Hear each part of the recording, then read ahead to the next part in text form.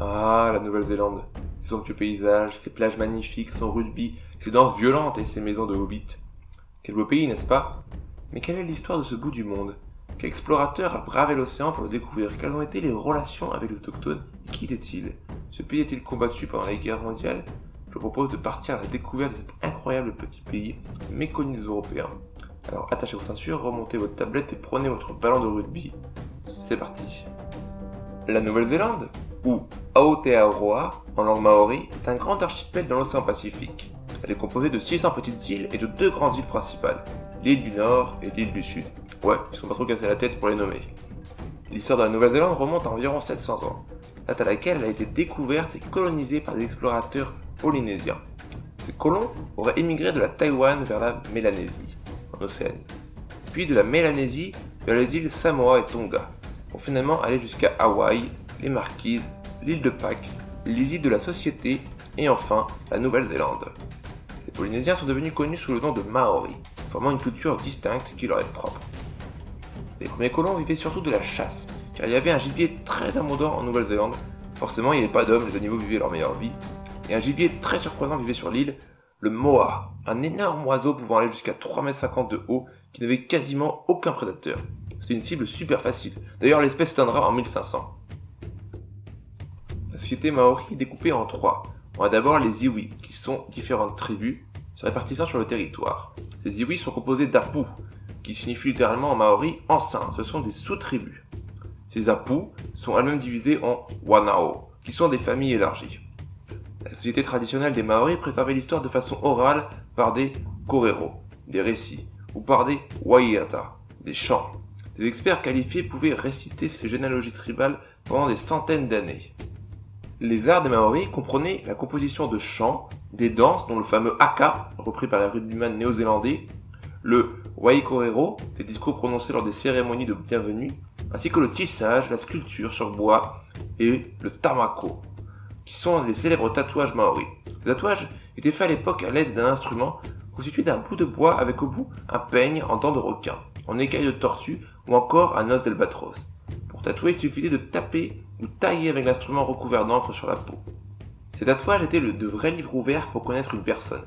C'était des indicateurs du rang social, des connaissances, des compétences et de la possibilité de se marier d'un individu.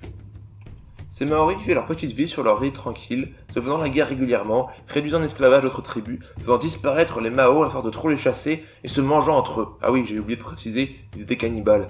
Bref, des autochtones en paix et en parfaite harmonie avec Mère Nature. Mais le 13 décembre 1642, les Maoris observent deux étranges navires, jamais vus auparavant. Il s'agit du premier explorateur européen observant la Nouvelle-Zélande. C'est un néerlandais du nom de Abel Tasman. Les Maoris décident donc de faire ce que tout humain ferait pour souhaiter la bienvenue à des étrangers. Ils les attaquent. L'explorateur nommera d'ailleurs cette baie la baie des meurtriers. C'est pour dire. Mais cela n'empêche pas Tasman de dessiner des sections des côtes ouest des deux îles principales. Première apparition de la Nouvelle-Zélande sur les cartes. Tasman nommera cette terre Statenland. Ce n'est qu'en 1645 que les cartographes néerlandais ont changé le nom de cette terre en Nova Zealandia, d'après la province néerlandaise de Zeeland. Et puis, plus rien. Plus de 100 ans se sont écoulés avant que les Européens ne retournent en Nouvelle-Zélande. C'est en octobre 1769 que le capitaine de la marine britannique James Cook accoste sur la Nouvelle-Zélande et deux mois plus tard seulement, les Français Jean-François Marie de Surville, à la tête de sa propre expédition, atteint aussi le pays. On est souvent un peu en retard, nous les Français. Cook va contourner et cartographier toute la Nouvelle-Zélande. À partir de la fin du XVIIIe siècle, le pays a été régulièrement visité par des explorateurs et autres marins, des missionnaires, des commerçants et des aventuriers, en particulier des navires britanniques, français et américains qui pêchent la baleine, chassent le phoque et fait du commerce en échangeant des armes et des outils en métal contre de la nourriture, de l'eau, du bois et du lin. Les missionnaires vont apporter une grande innovation aux Maoris, l'écriture. Le linguiste Samuel Lee et le chef des Maoris Ongi Ika ont réussi en 1820 à transcrire la langue maori sous forme écrite, grâce au travail du missionnaire Thomas Kendall. Et en 1835, la Church Missionary Society traduira et imprimera deux livres de la Bible en langue maori. De nombreux Maoris se sont d'ailleurs convertis au christianisme, si bien que dans les années 1840, le pourcentage de chrétiens assistant au service était plus élevé chez les Maoris que chez les habitants du Royaume-Uni. D'ailleurs, les Maoris ont vraiment adopté le christianisme et l'ont activement répandu dans tout le pays, et souvent avant même l'arrivée des missionnaires européens. Oui, ils étaient vraiment motivés, les gars. Mais l'arrivée des Européens n'aura pas que des effets positifs, car de 1805 à 1843 aura lieu ce qu'on appelle les guerres des mousquets. Hop, hop, hop, hop, attendez, je vous arrête, je vous arrête, je vous vois arriver, vous êtes en train de vous dire, et voilà encore des Européens qui profitent de leur supériorité technologique pour massacrer les pauvres autochtones en refusant de quitter la terre de leurs ancêtres. Eh ben non. Non, ce sont des guerres entre Maoris en fait, qui n'ont aucun rapport avec les colons britanniques. Enfin presque aucun rapport. Là où les Européens vont bouleverser les peuplades de Maoris, c'est leur faisant découvrir une arme redoutable, je veux parler du mousquet. En effet, les Maoris pré-européens n'avaient pas d'armes à distance à l'exception du Tao, une sorte de lance. L'introduction du mousquet eut un impact énorme sur les guerres entre Maoris. Imaginez, d'un seul coup, ils ont en leur possession une arme capable de tuer l'adversaire d'un coup, à une longue distance en faisant un bruit impressionnant. Une arme de destruction massive en fait. Les tribus équipées de mousquets attaquaient les tribus qui n'en avaient pas, tuant ou réduisant en esclavage un grand nombre d'entre elles. Si bien que les armes à feu devinrent très précieuses et que les Maoris étaient prêts à en échanger d'énormes quantités de marchandises contre un seul mousquet.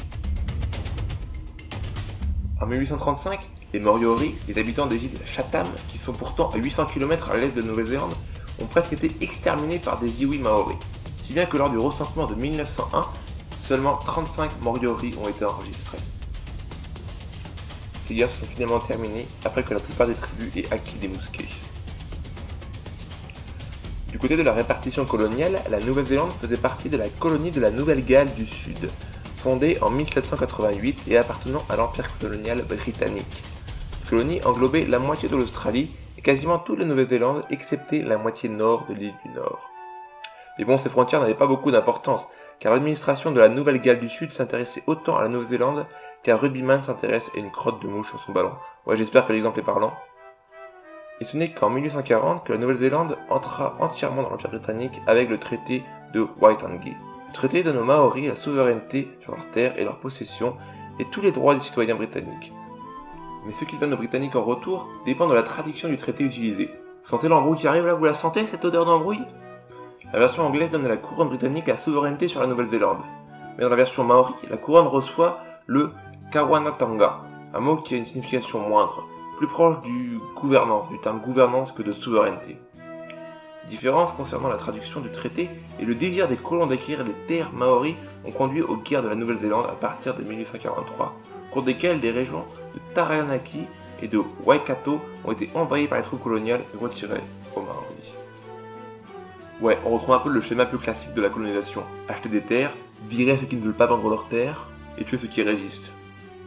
La colonisation britannique a été importante pendant tout le reste du 19e siècle et jusqu'au début du siècle suivant. Les effets des maladies infectieuses européennes, les guerres de la Nouvelle-Zélande et l'imposition d'un système économique et juridique européen ont fait que la plupart des terres de Nouvelle-Zélande sont passées de la propriété des Maoris aux Pakea, les propriétaires européens en langue maori. Suite aux nombreuses pétitions des colons britanniques en faveur d'une autogouvernance, la colonie a obtenu son propre gouvernement dans les années 1850.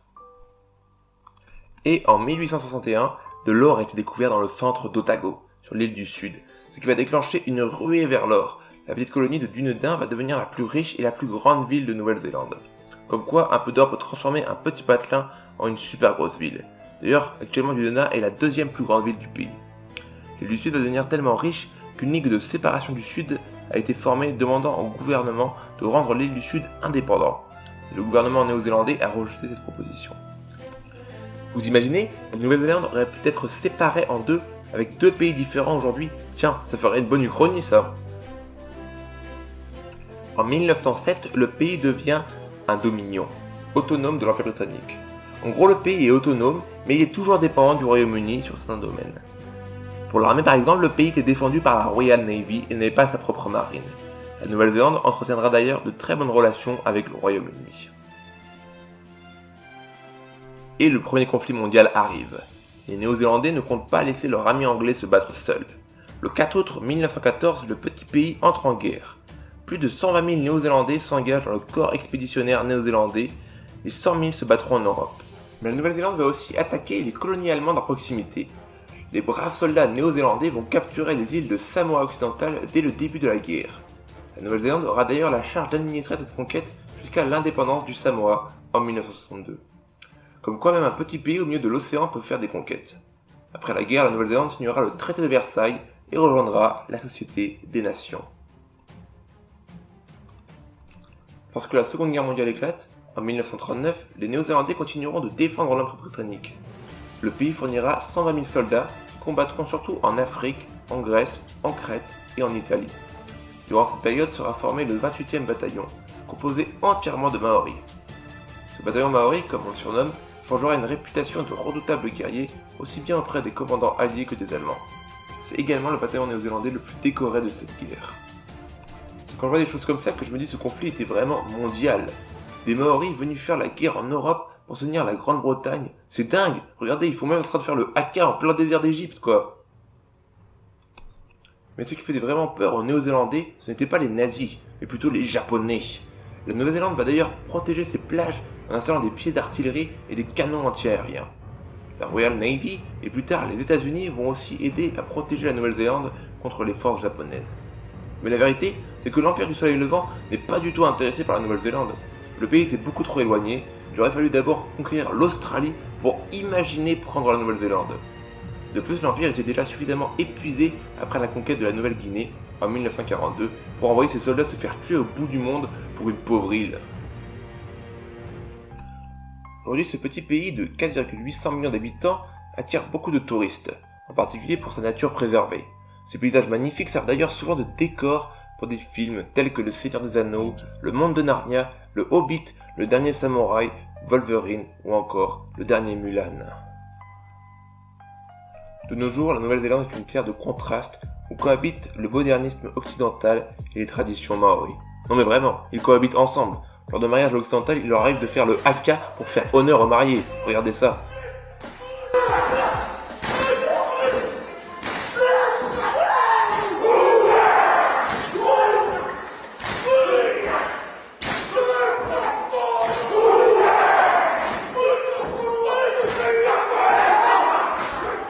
Encore des élèves qui disent au revoir à leur prof en pratiquant le haka. Mais regardez ça, ils font trembler toute la salle de cours. Tu fais ça à la fac ici, il y a les CRS qui débarquent quoi.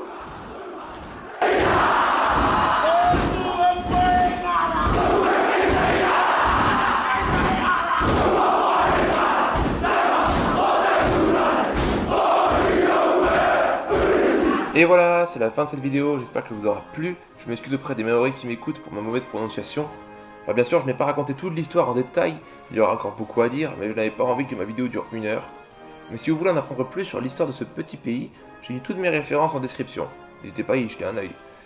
Si vous maîtrisez l'anglais, je vous conseille aussi la page Wikipédia anglophone sur l'histoire de la Nouvelle-Zélande. Elle est vraiment très bien faite. En tout cas, si la vidéo vous a plu, laissez un petit j'aime et un commentaire. N'hésitez pas à vous abonner. Et je vous dis à plus pour une prochaine vidéo.